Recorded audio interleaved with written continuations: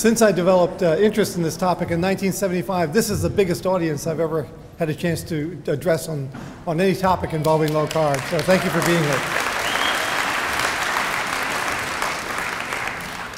It's, it's an honor to be here with a, uh, such a remarkable group of speakers, and, and the energy um, uh, around this topic suggests that uh, we may be moving this not from the top down, but from the bottom up. And uh, I applaud you for, um, for the, your interest. What I want to talk about loosely is the art and science of low carbohydrate diet and low carbohydrate performance. And um, when I say art and science, I'm a, i was trained as a scientist, but I realized that there is also an art uh, involved in understanding uh, the roots and the um, uh, proper composition of a uh, ketogenic or low carb diet. Um, and so what I want to start with is, is a bit of the art of understanding where that came from and maybe some key learnings that came from uh, individuals who use this diet not from a scientific perspective, but from a cultural perspective. So what I show you here is a picture of two women facing the camera. This may be the, certainly the first camera they ever saw, and it may be the first European origin person holding it. And I will tell you that these two women knew more about the low carb diet than I will ever know in terms of the practical aspects of how do you choose which foods, how do you cook it, how do you give it to your, your family so that your infants, your teenage kids, your, your spouse, and your, your in-laws all are happy with what you feed them. Um, and you know, how the Inuit uh, of the Arctic um, proportion their food, you know, we know they ate meat and fat, but which parts did they treasure, which parts did they discard. If you look in the garbage dump around you know, settlement areas, you know, uh, uh, archaeological anthropologists go and look and dig through garbage heaps and, and say, well, they ate this and this. Well, actually, what you find in the dump is what they didn't eat. Yeah. Um, and the other thing is, these were well, very evolved, the women were part of a very evolved society. Uh, and the Thule Inuit had lived, um, had come across from Siberia probably about a thousand years before, and before them, um, the other um, um, um uh, Inuits had, had lived in the Arctic for 4,000 years. Uh, and they lived in a very hostile environment, yet they figured out how to survive and how to have a continuous food supply. Uh, and uh, how to uh, give birth to and raise children who could survive in that environment. But they never wrote down a book such as The Art of Inuit Cooking. So we don't know, you know, they died with that knowledge and uh, uh, not much was written, you know, people didn't literally take from these people's mouths what they did. There were people who did listen to and write down what the Inuit did.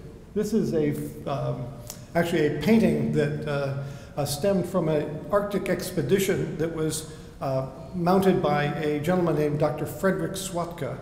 Uh, and he uh, was a, uh, a, physician in the U.S. Army, but for whatever reason decided he wanted to go into the Arctic and try to find the fate of the, of the, of the Royal Navy's uh, lost Franklin expedition. The Franklin expedition left Great Britain in 1843. It was last seen going into the uh, Arctic north of Canada, and their mission was to find the North, Northwest Passage.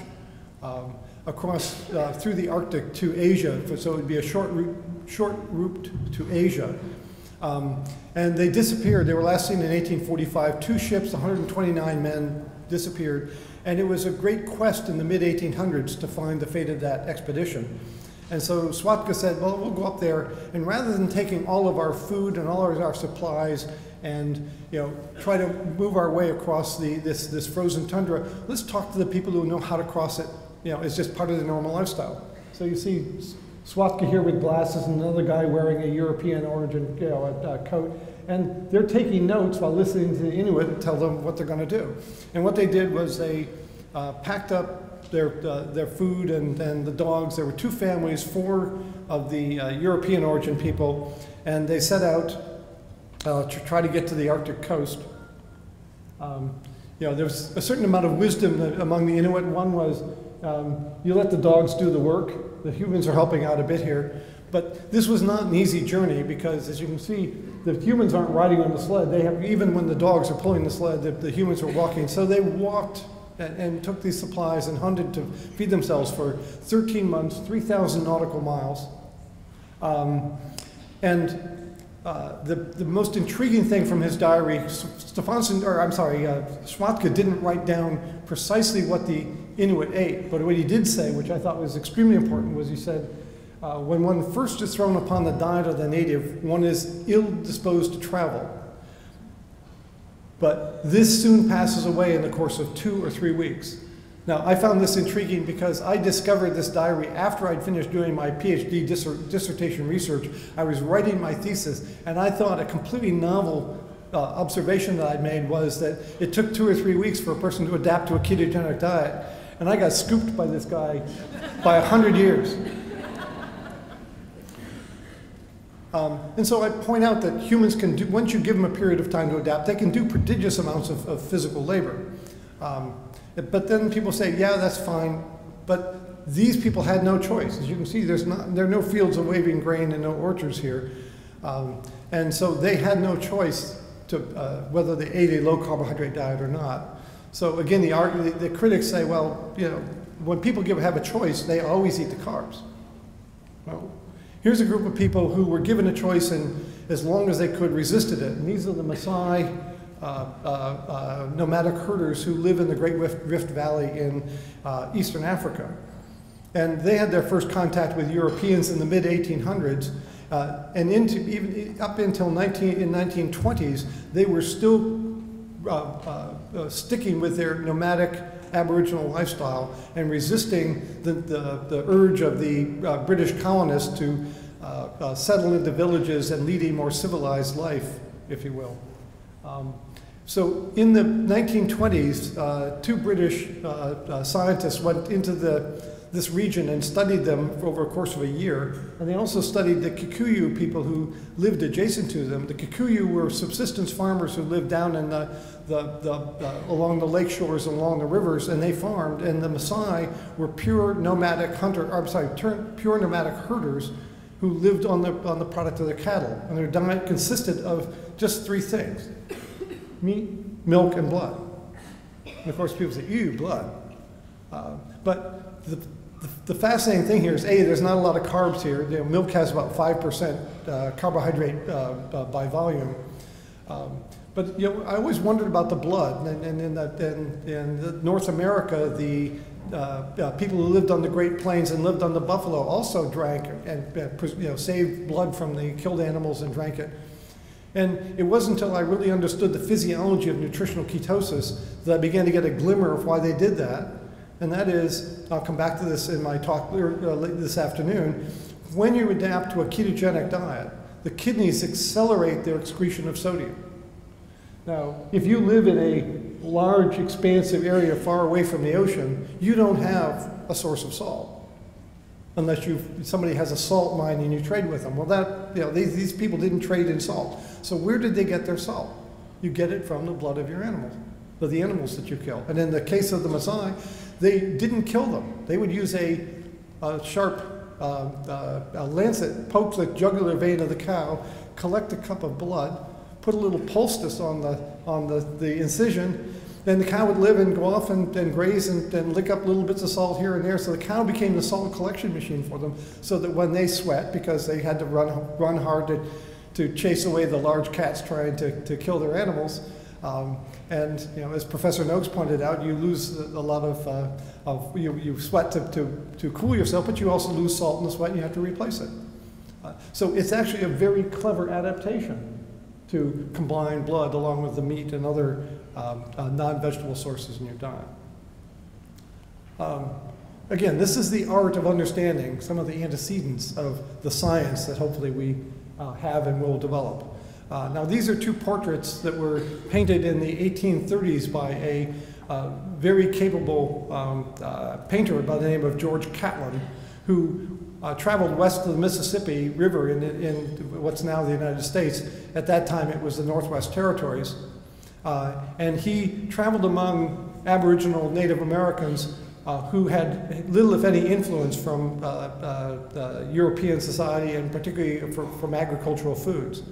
And the thing that people look at this and say, you know, this is kind of a, something wrong with these pictures. This guy really wasn't a good painter because, see, the heads are way too small compared to the size of the body.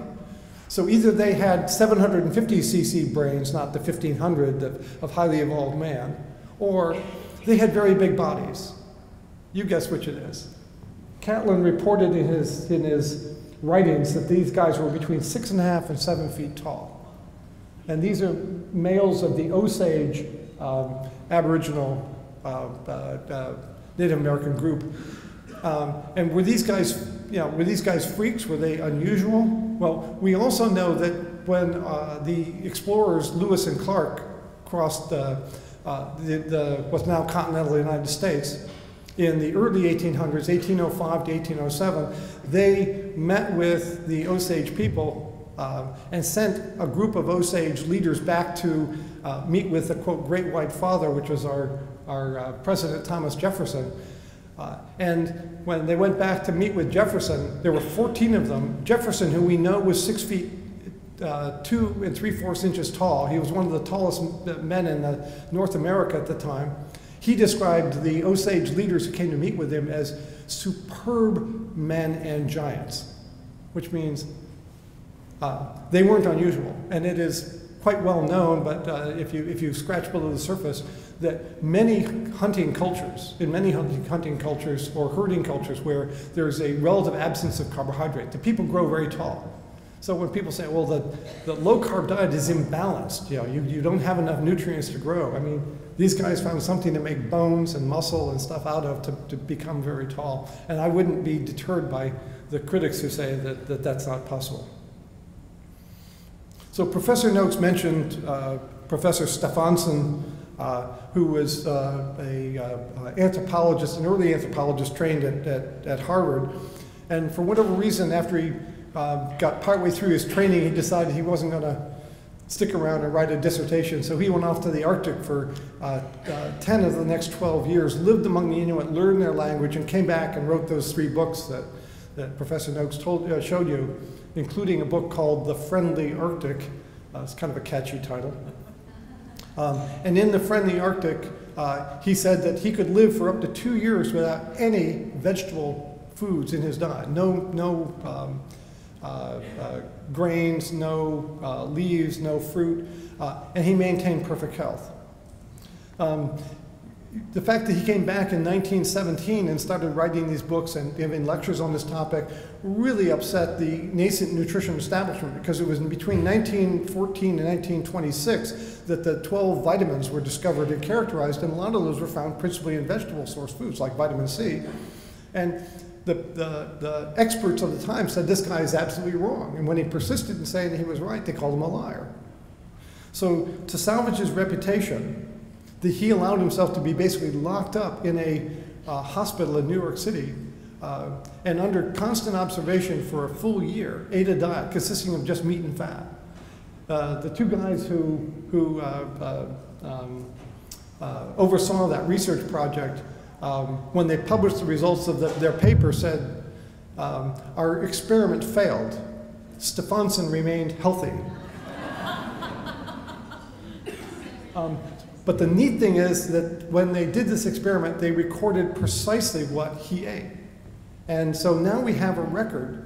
Now, okay, let's put it, it's a presumption on my part. But if this guy lived for 10 years among the Inuit, learned their language, learned to eat their diet, and now his reputation is at risk. I would guess that he would do his best to recreate the macronutrient composition of the diet that he ate in the Arctic. And that was written down. What we have is 115 grams of protein per day. This guy was five foot nine. So that represents, depending on his uh, energy expenditure, 15 to 20% of his energy intake. Over 200 grams of fat per day and less than 10 grams of carbs. And that's a guess because we're, the, that, less, that carbs would only come from the glycogen that's in the meat at the time the animal was killed. Uh, and he ate meat, fish, poultry. Much of the food was, and this is important, much of the food was boiled. And when he ate the boiled meat, he drank the broth. Uh, they also included brains, marrow, liver, and kidneys, so the uh, internal organs of, of, the animal, not just the, the meat. You know, where we're, we in our society are focused on the steak, and, and for the last 40 years, the lean steak. Uh, they were picking the fattier cuts, and that's how they got the 200 grams of fat and kept the protein at a, at a moderate level. So I think there's an important message there because there are lots of versions of, versions of low carbohydrate diet. And there are people say, well, you know, I eat, a, I eat a low carbohydrate diet. And when I talk to them and ask them what they're eating, they're eating less than 50% of their calories is fat. And I say, well, why are you eating so little fat? Oh, it's the fat's the, the dangerous part.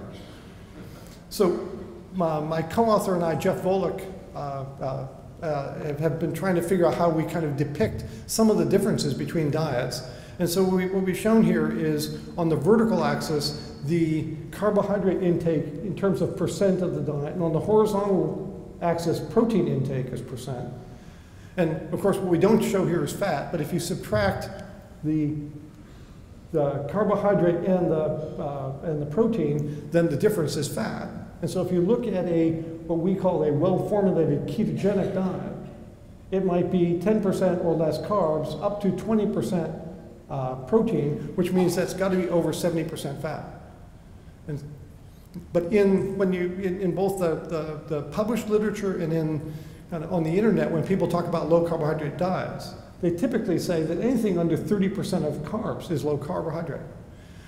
But if one defines uh, uh, nutritional ketosis as a actual functionally circulating level of ketones where it can actually help the body in its energy flow, um, our estimate is that this triangle here is about the space in which nutritional ketosis can exist. And yet when I talk to people who are academics who, are promote, who, who promote the paleo diet, such as Professor Loren Cordain, he, he tells me you've got to have at least 20% carbs in the diet. And I ask him why, he says, well, that's how much you need to feed the brain.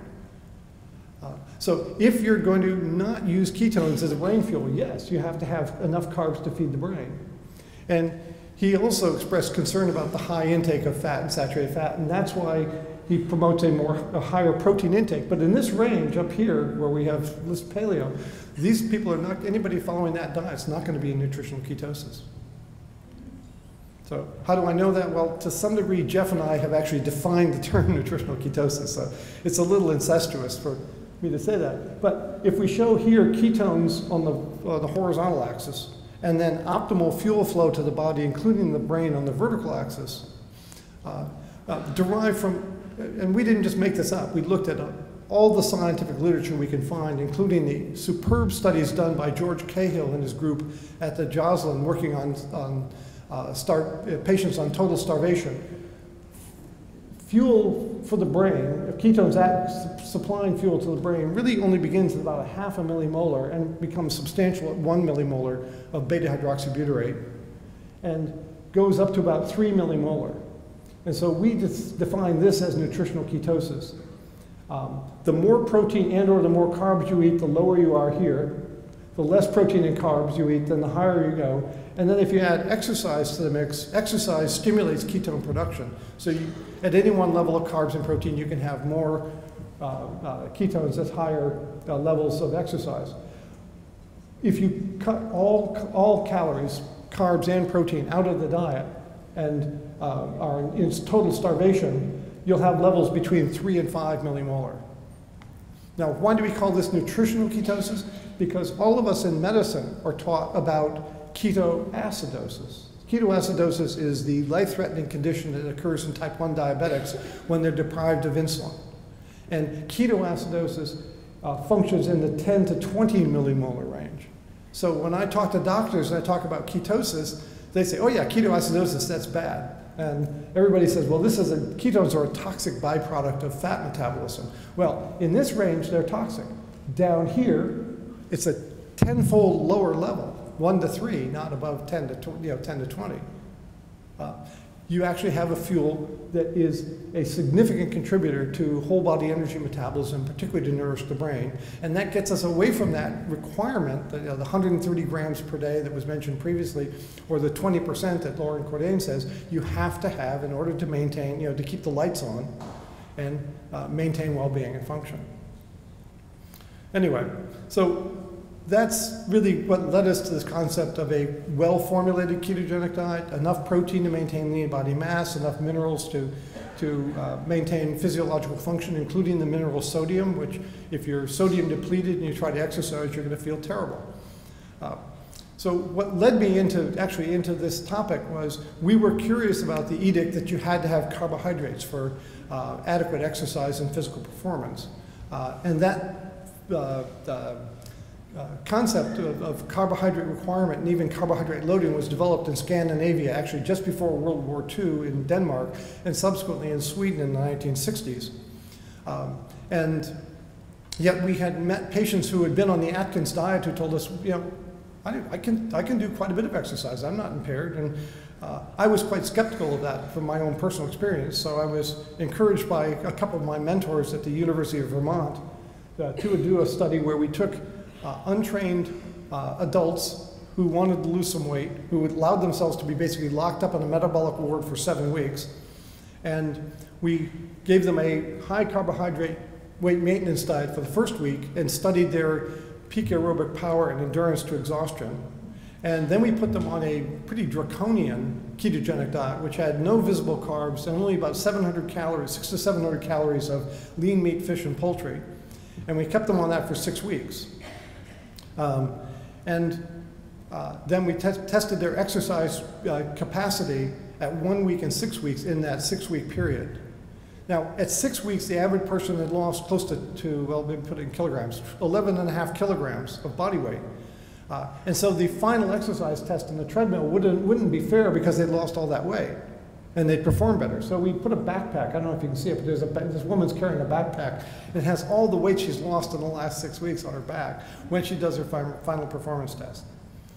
Um, and what we found the, at baseline, they were able to do uh, close to three hours of endurance exercise at 60% of their peak aerobic power on the treadmill uh, before they came to subjective exhaustion. One week later, this was uh, reduced by about 25%, a little over 25%. And that fits perfectly with the, the data published by the, the, Scandinavians that supports the concept of the necessity for carbohydrate and the benefits of carbohydrate loading. Uh, in retrospect, I think it was a mistake that I agreed that we'd do a final test after six weeks. Because if I'd done this, I would never have become a heretic. I could have had a, a pleasant career and, and cordial relationship with all my colleagues. But you can imagine that when we, when we published this data showing that these people, even with a backpack, they went four hours walking on the treadmill. Well, I need to tell you the truth, and that is even though they wore the backpack, their heart rate was lower and their oxygen cost of exercise was lower here, which means they were more efficient on a ketogenic diet. So whatever the cause, they were able to do a prodigious amount of exercise. And by the way, they weren't training during this study. They were in the metabolic ward, and the only exercise they did were the tests at baseline one week and, and six weeks. So this was not a training effect, this is a diet effect. But it was clouded by the fact that they lost weight. So, and I, at that time I was reading the, the, the books by uh, Stefansson, the Arctic explorer, saying that he could eat a diet of meat and fat and hold his weight stable and feel well and function well. And we had the published data from the, uh, when he was locked up in Bellevue Hospital. And so we concocted a diet similar to what Stefansson ate in 1928. We recruited a group of bike racers. Now these are lean, healthy guys. You can see this is this guy doesn't have a whole lot of extra body fat. And we didn't want him to lose weight. So we fed him and the other subjects enough calories to hold their weight stable, with the composition being 15% protein and north of 80% of calories is fat. And we kept them on the diet for six weeks. And the question was, can an athlete also exercise uh, after a period of keto adaptation? And uh, the data here shows that their peak aerobic power, that's their maximum ability to consume oxygen at the highest level of exercise they can get to on a stationary bike, was 5.1 liters at baseline. After four weeks, it was 5.0. The, the 0.1 is not statistically significant. They were able to do this peak, achieve the same peak aerobic power after four weeks with no visible carbohydrate in their diet. We exercised them at 65% of VO2 max. They went for 147 minutes at baseline and 151 minutes after they'd been on the diet for four weeks. Now, two differences between this study and the one before. They didn't lose weight and they didn't have the potential improved efficiency from weight loss. The other is it was a four-week study, not a six-week study, but the fact that they put in what is statistically an identical performance indicates that there is no hobbling effect to highly trained athletes when you get them on a well-formulated ketogenic diet. Um, the intriguing thing is this, this data here on muscle glycogen, this shows the change in muscle glycogen, so 87 units, uh, that's millimoles per kilogram wet weight of muscle, 87 units were consumed for the first uh, performance, doing the exact same amount of work, the same duration, the glycogen use was reduced by a factor of over three. So they could do the same amount of work on much less glycogen, and the reason they could do that is almost all of their fat, or almost all the energy was coming from body fat. And that's indicated, uh, I don't want to get into details of respiratory quotient, but if the RQ here is 1.0, that means someone's burning all carbohydrate. If it's 0.7, they're burning all fat. At 0.83, on this test, it was about a 50-50 mixture of carbohydrate and, and fat. And that's what you usually see in endurance exercise at about 65%. But over here, after just four weeks of adaptation, their RQ was 0.72, which is so close to 0.70. That means they were getting close to, if over 90% of their fuel for this level of exercise from body fat. We had turned these athletes into a remarkable fat burning machine. So um, that stuff got, that data got published in the literature and, and uh, you know, people sort of treated it like you would treat, uh, well, let me not be too crude, but sort of dog poop on a sidewalk, you know, people. Uh, and then until Jeff Volek came along, and I have to tell you, Jeff, who's 25 years younger than I, he tries to treat me like a mentor, and I try very hard to treat him like a colleague because I look up to him so much. Uh, but he really kind of dragged me out of obscurity and, and said, hey, you know, that stuff was pretty interesting. And one aspect of the interesting stuff he said was, let's look at this paper published in 2005 from, by Venables et al. from uh, the Netherlands. And she and, and the group, including uh, Professor Jeukendrup, um, in, in 2005 recruited 300 people. Some of them were, were uh, untrained adults and some of them were highly trained athletes. And they looked at, they did an exercise test to find what their maximum rate of fat oxidation was. And what they found was that the lowest rate of fat oxidation among all 300 was 11 grams of fat per hour. The highest was 60 grams of fat per hour, which translates to one gram of fat per minute. Okay? We'll come back to that in the subsequent slide. The mean value was 28, but the focus on the, out of 300 people, including many highly trained athletes, the highest fat oxidation rate they found in anyone was one gram per minute. So Jeff took the data from my thesis and plotted and figured it out in terms of grams of fat per hour. The lowest of my five bike racers had 74 grams per minute, the highest 112, and the mean was 90. So in, with keto adaptation, either again, my five guys just happen to be complete freaks, or that when you keto adapt someone, you dramatically change them from the carb fed state to a, uh, uh, uh, a fat fed state where their bodies become extremely adept at burning fat for fuel.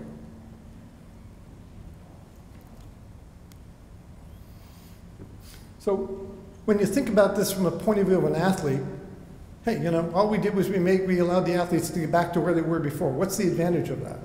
And the advantage is that if you carb load a, a 70 to 75 kilogram athlete, you can get maybe 2,500 calories of carbohydrate into that into the person's liver and muscles combined.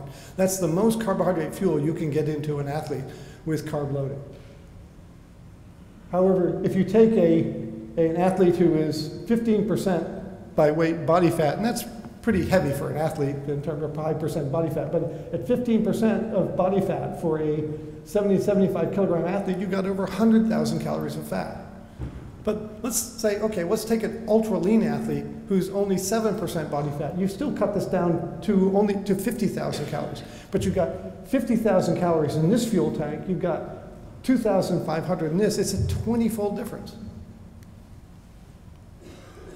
So, um, and if you can use that fat efficiently, that suggests that you have a much bigger fuel tank when you adapt to using fat for fuel. So the analogy of an athlete hitting the wall, you hit the wall when you run out of carbohydrate. It's like a truck carrying petrol going down the highway. You've got a little petrol tank up here, you've got a big tank of, let's say, of diesel here. When the, this runs out, the, the, the truck stalls and yet it's got a huge amount of fuel. You just can't use that fuel. So if you took a line from the, this tank here and plugged it into the engine and converted the engine to burn, burn diesel, that truck can go and go and go. So the question is, which fuel tank would you want to have if you're going to go a really long distance, like, say, 100 miles? So there are some people who are in, in California, people around the world who now who are doing ultra endurance events up to 100 miles duration or even longer. Uh, this is a picture of a gentleman named Timothy Olson. And in 2002, he did the Western States Endurance Run. He'd done it in previous years and had never won. Uh, then he converted to low carb about six months before this race. And here he's running across what's called the No Hands Bridge at mile 97. And this is the first time anybody in this race, the race has been run since 1976, I think. This is the first time anyone has gotten to No Hands Bridge when there's still daylight on the mountains.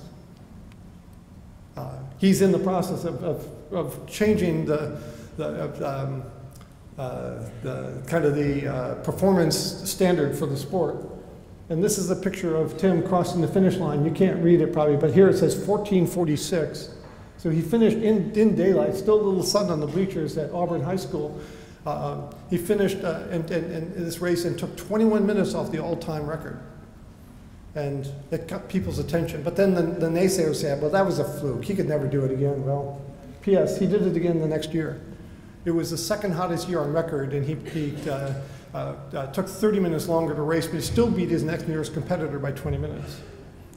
So this is an ev evidence that one can uh, take the low carb message, which we focus oftentimes on obesity, diabetes, and inflammation. Uh, it may have application to other groups as well. Uh, and so we wanted to start, study it a little more closely. So Jeff Volek allowed me to be a collaborator with him on a study which he called FASTER, which stands for Fat Adapted Substrate Oxidation in Trained Elite Runners.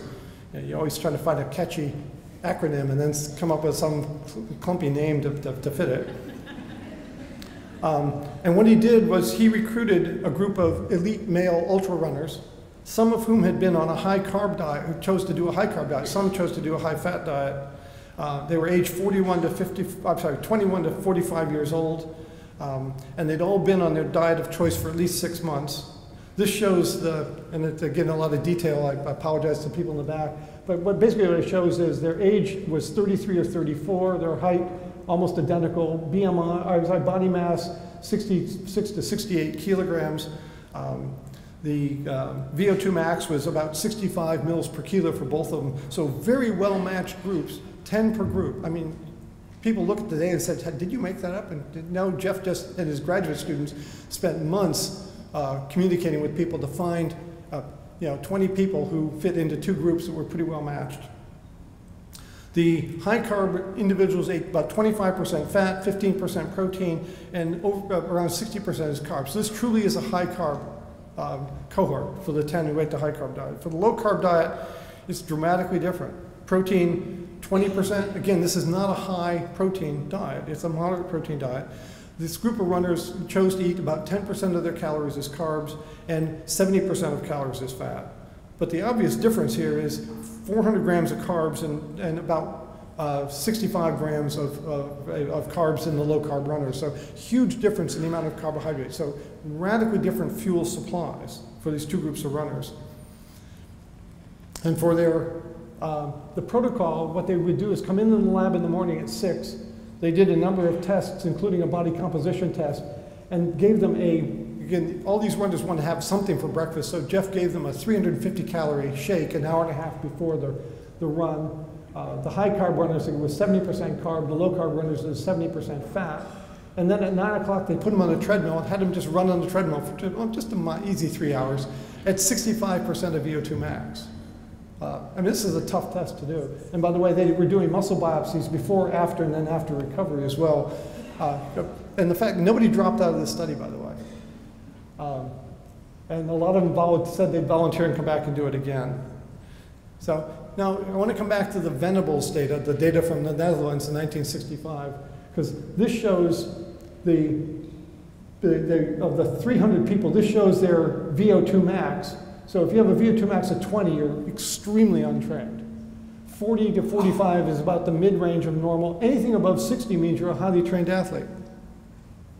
And this shows the fat, peak fat burning in grams per minute. So remember I said 60 was the highest you saw. So there's the 60.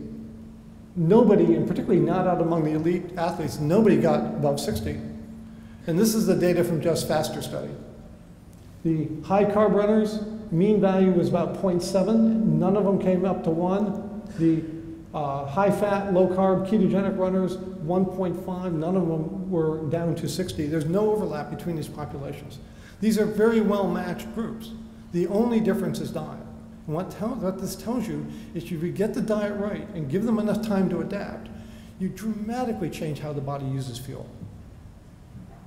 And you dramatically give them access, particularly give them access to fat uh, as an energy source, which has tremendous implications when you're dealing with obesity and weight gain. So the other way to look at this, this is the, you know, this is the picture that where Jeff says, this is where we fire the, the statistician, because we don't need the statistician anymore. This shows the, the, over the three hours, this shows the carbohydrate use by the high carb runners, and it starts a little above 50% and comes down to um, uh, uh, maybe 40% at the end of three hours. So you can see it's dropping off, and if they've kept running for much longer, you're probably going to run out of it. The low carb runners, 90 per, almost 90% fat, and there's no change. They're not burning more and more and more and more carbohydrate out here.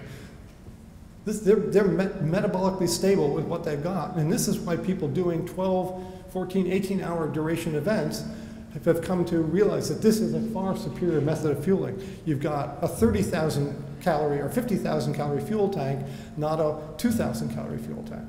And you can just use this and use this and use this. So let me finish up really quickly with some safety issues. People say that's fine, but you know there have been surveys done of athletes and, and you know, questionnaires of athletes, and of course they were always uh, anonymous. You know, so you, you didn't know who gave what answer. But the question, one question sometimes people ask is, if we had a drug that would guarantee you a gold medal in the Olympics, but it would cut 10 years off your life, would you take it? And more than half of them say yes. So yeah, we've got a drug that lets you run and run and run and run on a big fuel tank, but what if it kills you? So, um, and again, uh, you've seen some of this data already from, from Professor Noakes, but Jeff Volek did a study where he recruited 40 uh, people with metabolic syndrome, not athletes, but just 40 overweight people with metabolic syndrome. And uh, half of them were randomized to a low-fat diet that provided uh, only 25% um, or 24% of calories as fat, 56 as carbohydrate, and a modest component as protein. And the other half got randomized to a well-formulated low-carb ketogenic diet. Protein was 28%, uh, carb, and fat was almost 60, and carbs were 12. Now this is a weight loss study. People say, well, 12, that's above 10, that's too high. But this is actually a weight loss study, and so they were hypocaloric. So actually some of body fat was coming from here, you know, was adding to this, and proportionally in terms of metabolic expenditure, this is smaller. Anyway, um, this shows the weight change, oops, here. Um, the low carb, I'm sorry, the low fat group lost weight, the low carb group lost more weight. Note that they're still losing here at the end. So it isn't like this one was still going down, this one was going back up. Because when we look at LDL cholesterol, it's up slightly numerically on the low carb group, down slightly in the low fat group, but these are not significantly different. But the LDL particle size, which they measured uh, directly, not estimated, um, this 3% increase in LDL particle size is actually a huge increase, which means that most of these people, if they had what's called, Ron Krauss calls pattern B, B for bad, moved to pattern A, that is their small dense LDL was, was markedly reduced. HDL cholesterol went up by 13%. There is no drug I as a physician can prescribe to a patient that gets anything like that kind of rise in, in HDL. Triglycerides went down in both groups. Again, people with metabolic syndrome have high triglycerides to begin with, and pretty much any diet you put them on will make it go down. But you got more than double the effect with the low carb ketogenic diet. And then the important factor that I want to point out is we actually measured the percent of saturated fat in their triglycerides. So this idea that you are what you eat, and if you eat saturated fat, it'll accumulate in your body is a, a myth that has to be dispelled. And, this, and what we showed was that the absolute content of, of um, saturated fat in the triglycerides decreased by 12%, even though this group was eating three times as much saturated fat per day. So you're not what you eat, you are what you save from what you eat. And if you're a prodigious fat burner, you have a, a tremendous uh, uh, capacity to burn fat. And one of the fats that the body loves to burn when you give it permission is saturated fat. So if you eat it, you turn it into CO2 and water, it doesn't collect in your body, how's it going to do you harm? So again, you've seen this, this slide. Um, it's getting to be a very popular slide. On the insulin resistant end, we, we really have to define that as carbohydrate intolerance. So take away the carbohydrate and the problems like type 2 diabetes, metabolic syndrome, obesity either get better or go away. At the other end, for insulin sensitivity, you have athletes and normal weight people. And you say, well, they don't need to do this. But as I pointed out to you, if you're an athlete trying to do something beyond a two, two to two and a half hour duration, tapping into your fat fuel tank may have tremendous benefit. You're not doing it for the health benefits, you're doing it for the ability to use a far superior endurance fuel source. And I want to end very, very uh, briefly here with a, uh, what I think is a very important paper that was published in the journal Science back in December of 2012. This is kind of obscure. It talks about things called histone deacetylases. Well, histone deacetylases are enzymes that control the proteins that wrap around your DNA that determines whether your genes are turned on or turned off.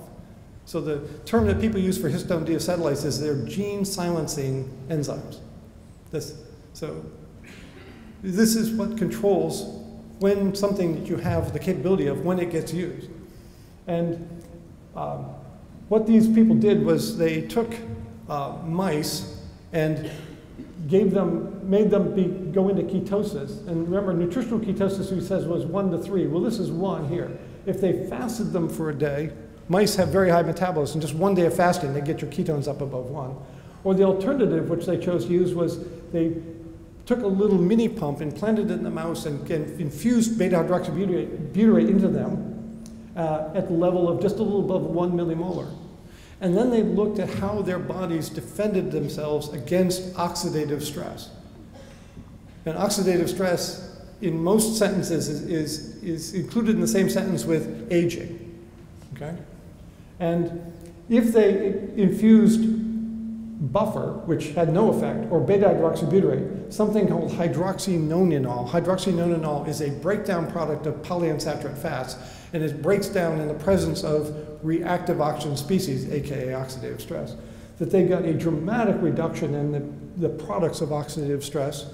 And just to prove that, that wasn't a fluke, they measured something called actually lipid peroxides in situ in liver tissue. And again, buffer up here, beta hydroxybutyrate down here, so you have this uh, dramatic reduction in just one day in oxidative stress effects shown in this animal model. And again, this is a pitch for the fact that nutritional ketosis is a very important area, an island of efficacy and safety that we need to figure out how to get people to. Because this shows this class of three histone deacetylases here, the class 1 series, 1, 3, and 4, at the range of 1 to 3 millimolar, you get a 40 to 50% reduction in the activity of these enzymes, which means you get a dramatic enhancement of the body's defense against oxidative stress. And it's, do, it's done in the range of 1 to 3 millimolar. So my conclusions are that a, a low carbohydrate, high fat diet has been with us for a couple million years. We've had a couple million years to deal with the fact that, that we have ketones present. That you don't get the benefits in terms of human studies for at least four to six weeks. So unlike the mice, it doesn't happen overnight. And the, in order to sustain that long term, when you're not losing weight, weight stable, you've got to be shed your fear of fat. You have to be willing to eat the vast majority of your calories as fat to, to exist in that space. And particularly the saturated fat isn't bad for you.